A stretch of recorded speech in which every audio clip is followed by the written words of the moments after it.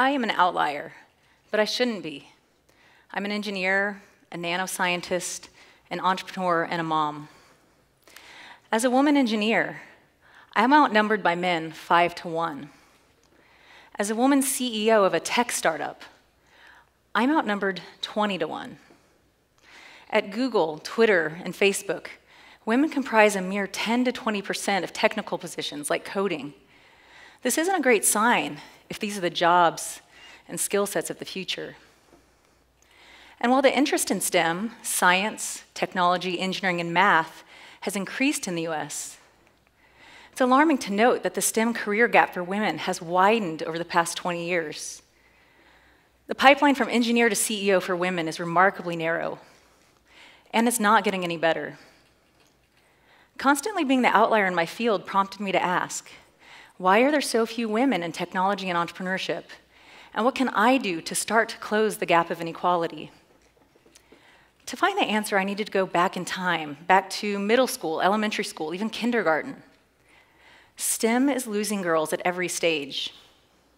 In elementary school, about 74% of girls are interested in science and math, and they excel.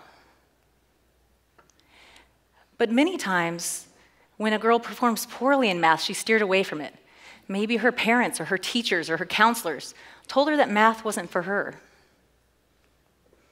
By their teens, many girls lack the confidence to push forward in math and science. They aren't encouraged, they lack mentors. Chances are they've never met a woman CEO or a woman in technology. Their body language is hesitant, and when they raise their hands, it's timid so they don't get called on. By now, there are fewer of them, and they feel like they don't belong. By the time we get to high school and college, we're left with only 14% of girls interested in STEM careers. All around, I see young women with a nurtured apprehension to standing up and starting up girls who've been taught to drop out instead of having the confidence to pursue their interests. If we're to close the gap of inequality, it must begin with what and how we teach our daughters. I believe we can make a change, but it begins by inspiring girls to stand up and start up. And this is what I set out to do when I founded Venture Lab, a company that teaches both boys and girls to become innovators and entrepreneurs. After years of teaching at the university level and now teaching K through 12, I found three keys to building our pipeline of women engineers and innovators. So, first and foremost, we need to teach our girls to break free from stereotypes. Girls are set on a pathway when they're given Barbies or when they see mostly boy heroes and science whizzes on cartoons. Studies of the brain show that specific neural pathways are created at early ages and affect the way that children perceive the world.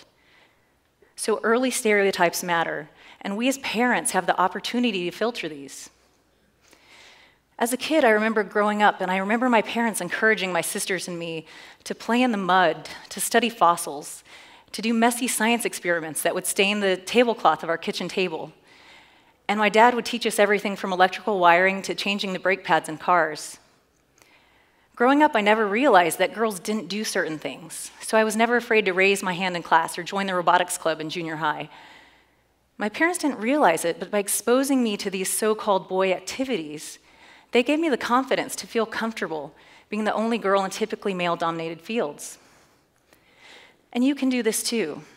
Instead of just Barbies and princesses, let's expose our girls to science experiments and toys that encourage them to problem solve and create. It can start with something small. Give a girl a screwdriver and take something apart to see how it works. Give a girl a science kit. Here's a picture of my sisters and me with a science kit that I got in middle school. Play with Legos and Arduino, littleBits, or Minecraft. Teach a girl a simple 3D modeling tool like Tinkercad, or teach a girl to code using Scratch. These last two programs are real and free. And the second key is to, teach our girls to redefine and embrace failure. Studies show that many girls self select out of things that are difficult or risky because they're afraid that they might fail and, they might not be perfect.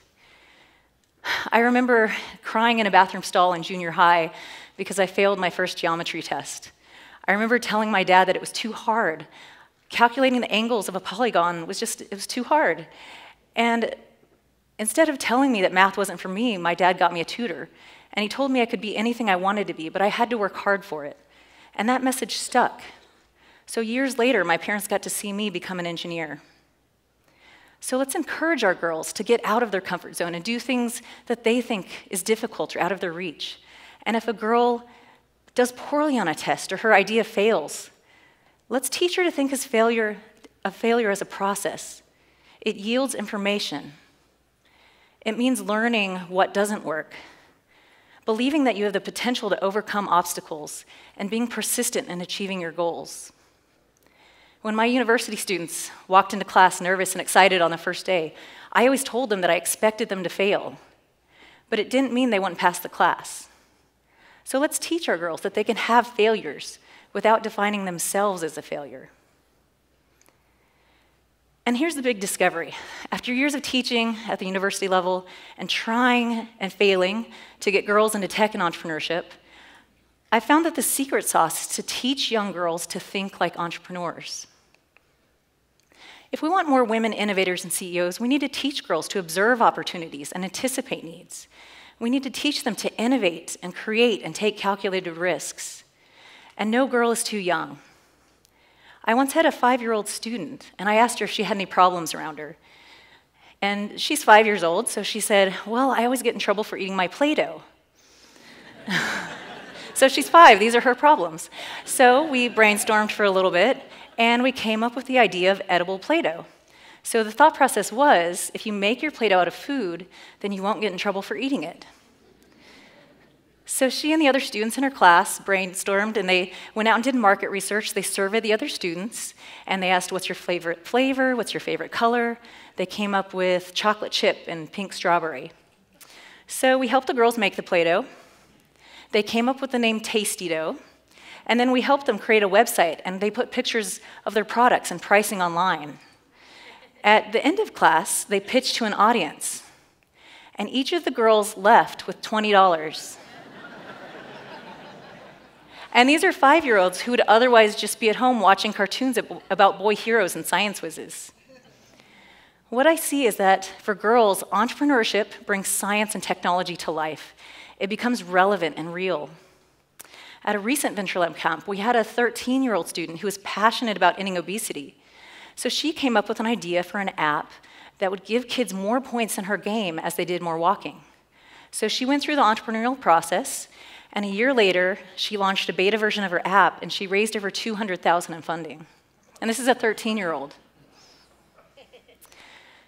And teaching entrepreneurship to girls can change their lives.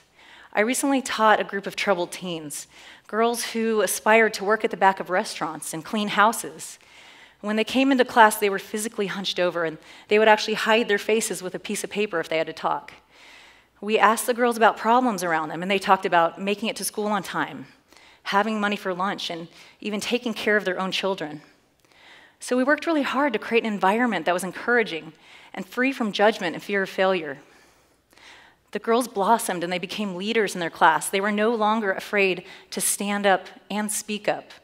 And a year later, one of the girls became a keynote speaker at a gala. She received a full scholarship to college, and she wants to start her own company. And this was a girl who before just wanted to work at the back of a restaurant. Entrepreneurship instills in girls a sense of confidence that they can tackle large problems and turn their ideas into reality. They can 3D print an engine, create software, or start a company. As an engineer, a CEO, and a mom to two boys and two girls, I don't want to be an outlier anymore, and I don't want my daughters to be either. So today I ask you to help me inspire girls to stand up and start up. Let's create more women innovators and CEOs by encouraging girls to stand up to stereotypes and to start pursuing their interests without a fear of failure. If we did this, just imagine what our country would look like with, say, three times as many girls in science, technology, and startups. So let's create the next generation of women innovators and entrepreneurs who will have the confidence to follow their passions and meet the grand challenges of the 21st century. Thank you.